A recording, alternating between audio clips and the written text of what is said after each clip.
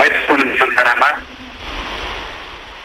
जातीय प्रधानमन्त्रीको तिन दिने सम्पन्न भएर हामी स्वदेश फर्केर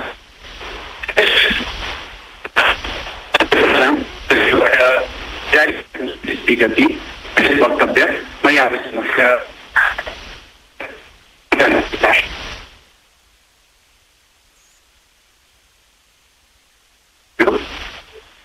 मित्र भारतका महामहिम प्रधानमन्त्री श्री नरेन्द्र मोदीको मैत्रीपूर्ण निमन्त्रणामा यही तेइसदेखि पच्चिस चैत्र दुई हजार चौहत्तरमा भारतको तिन दिने राष्ट्रिय भ्रमण सम्पन्न गरी स्वदेश फर्केको छु भ्रमण दलमा संलग्न एवं अन्य सञ्चारकर्मी मित्रहरूबाट भ्रमणका सम्बन्धमा यहाँहरू निरन्तर अवगतै हुनुहुन्छ भ्रमण सम्बन्धी संयुक्त वक्तव्य समेत जारी भइसकेको छ तथापि म केही विषयमा थप जानकारी गराउन चाहन्छु निकट छिमेकी एवं अन्य मित्र राष्ट्रहरूसँग पारस्परिकता समानता आपसी विश्वास सम्मान एवं लाभका आधारमा सन्तुलित र व्यवस्थित सम्बन्ध अघि बढाउँदै नेपालको राष्ट्रिय हित प्रवर्धन गर्ने वर्तमान सरकारको नीति छ।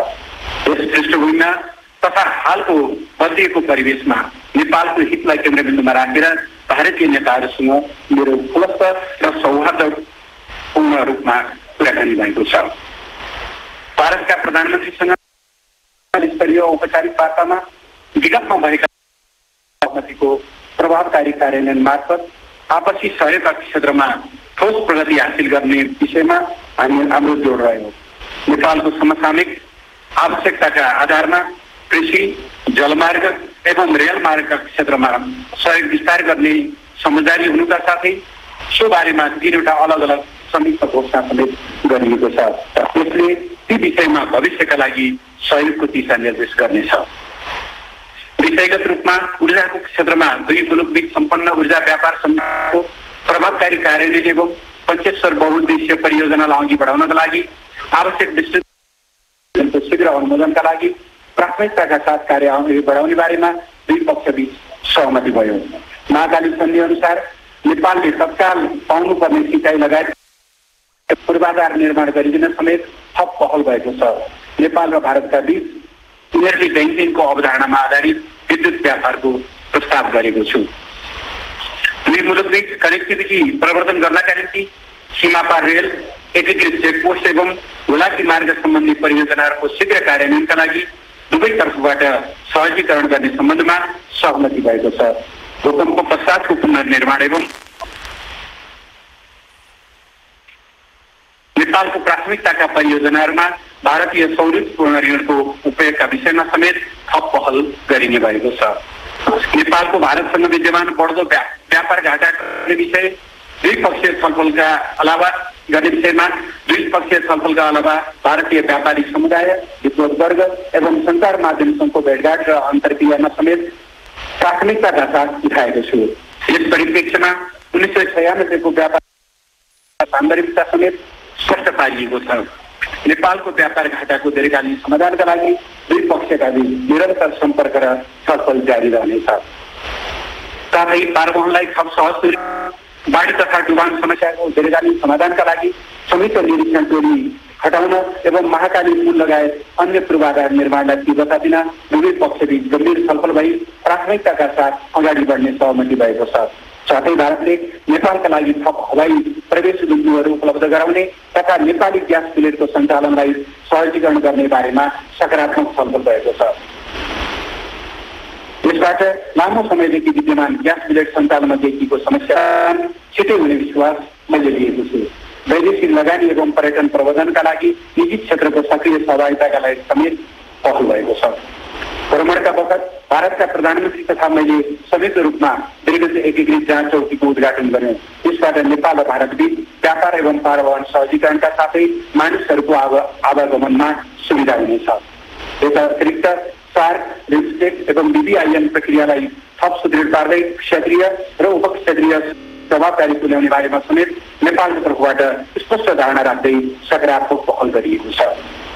भारतका प्रधानमन्त्रीसँगको औपचारिक वार्ता पश्चात हामीले संयुक्त रूपमा यसलाई सम्बोधन गर्यौँ भारतीय प्रधानमन्त्रीले नेपाली जनताले लोकतन्त्र तथा सङ्घीय व्यवस्थाप्रति देखाएको विश्वास र नेपालमा हालै सफलतापूर्वक सम्पन्न तिनवटै तहको निर्वाचनको खुलेर प्रशंसा गर्दै यो सन् दुई हजार छदेखि सुरु भएको परिवर्तनको उत्कर्ष भएको बताउनुभयो उहाँले यसका लागि नेपाली जनता र सरकारलाई बधाई ज्ञापन गर्नुभएको छ भ्रमणको अवधिमा भारतका महामहिम राष्ट्रपति एवं महामहिम उपराष्ट्रपतिका साथै भारत सरकारका वरिष्ठ मन्त्री एवं उच्च अधिकारीहरूसँग समेत मेरो भेटघाट भई आपसी हितका विषयमा छलफल भयो।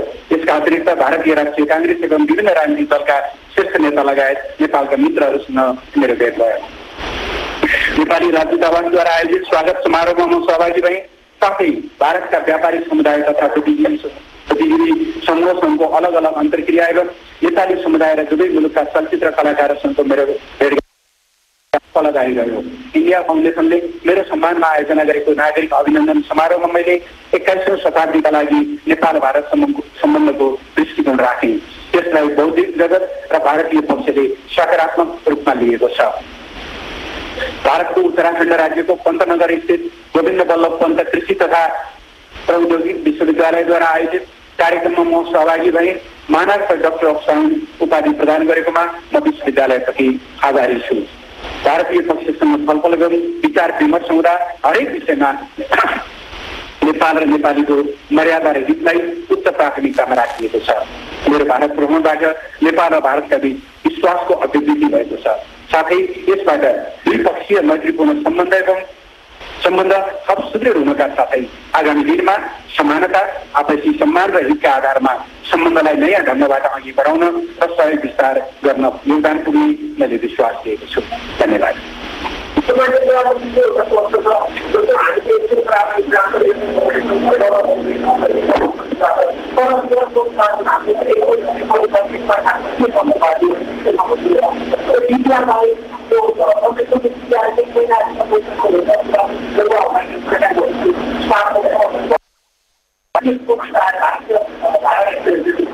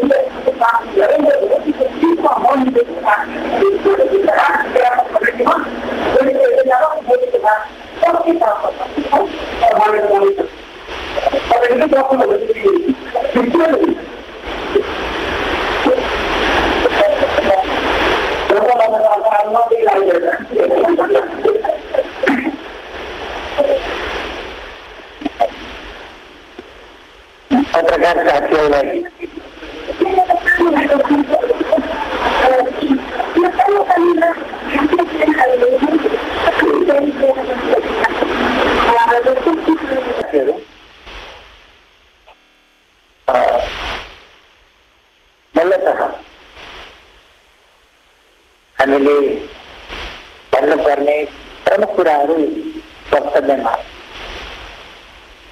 भर्खरै राष्ट्रमन्त्रीज्यूले भाषण गरेर यहाँ अगाडि राखिसक्नुभएको छ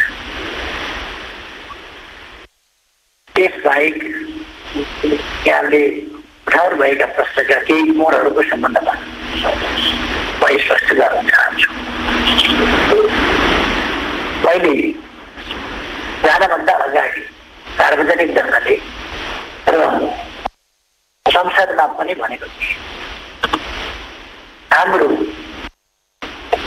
वैदेशिक मामला या सम्बन्ध परराष्ट्र सम्बन्ध मित्रताबाट प्रस्ताव हुन्छ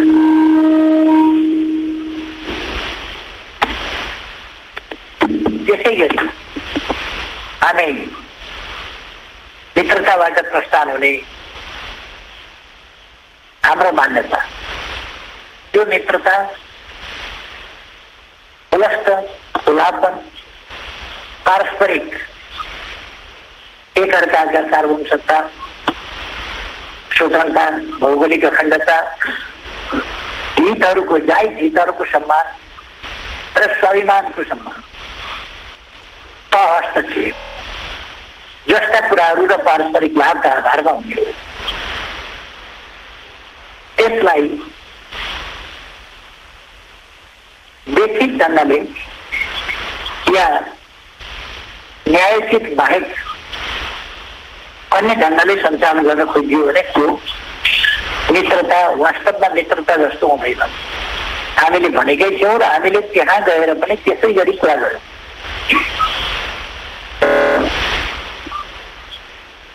सम्माननीय प्रधानमन्त्री नरेन्द्र मोदीजी लगायत भारतीय प्रधानमन्त्री मोदीजी लगायत राष्ट्रपतिजी उपराष्ट्रपतिजी अरू नेताहरू त्यहाँको बौद्धिक जगत त्यहाँका सञ्चारकर्मीहरू त्यहाँको निजी क्षेत्र ती सबै। र त्यहाँ स्थित विभिन्न कुटनीतिक नियमहरू पनि हाम्रो सम्पर्क र भेटघाट भयो।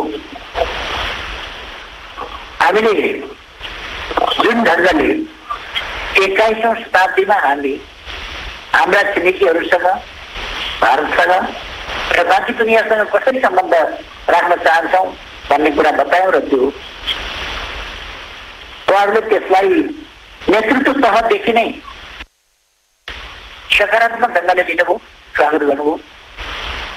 त्यसै कारण यहाँहरूले देख्नुभएको छ हाम्रो भ्रमण कुनै बनावटी कुराहरूमा देखावटी कुराहरूमा होइन। यथार्थमा अगाडि बढ्यो र उपलब्धिपूर्ण ढङ्गले अगाडि बढ्यो भन्ने कुरा यहाँहरूले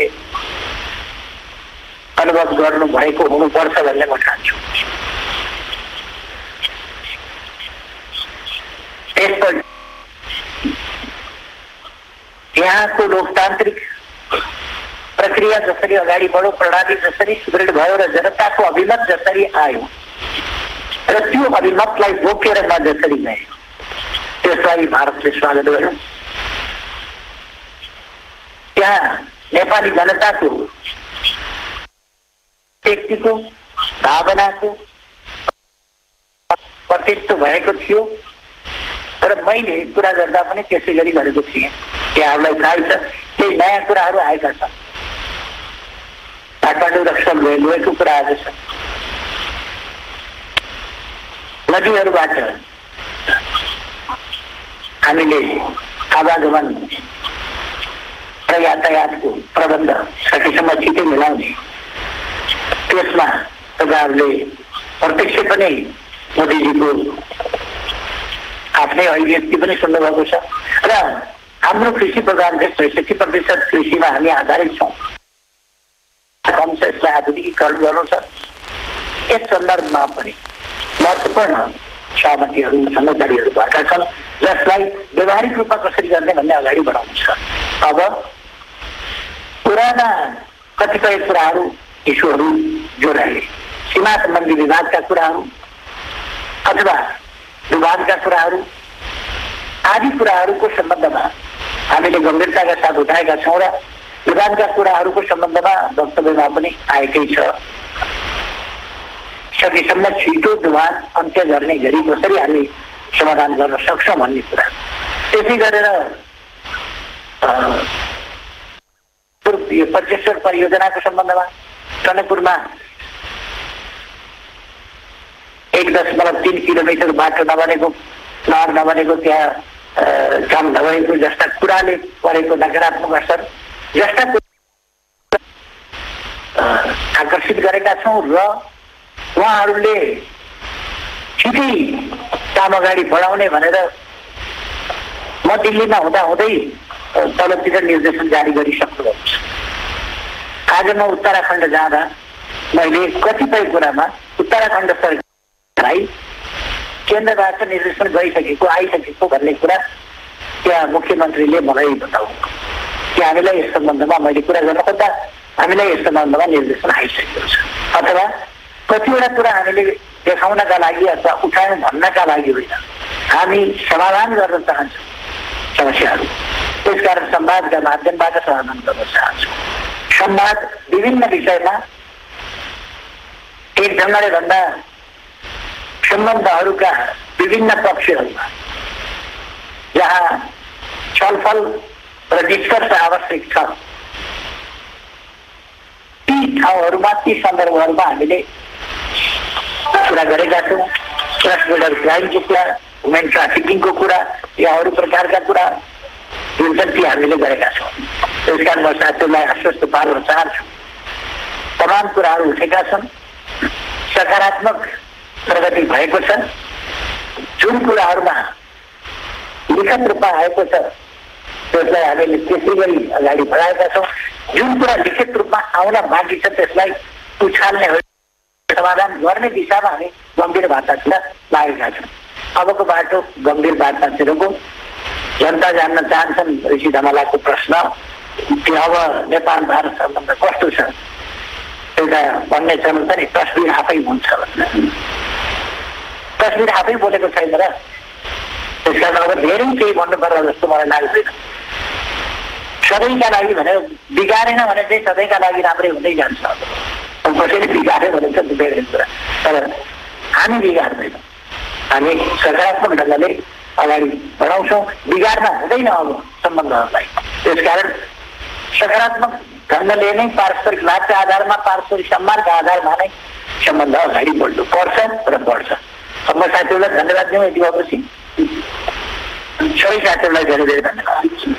तपाईँले खोजेको भन्दा बढी व्याख्यात्मक ढङ्गले मैले स्पष्ट पाएँ हस् सम्पूर्ण पत्रकार साथीहरू।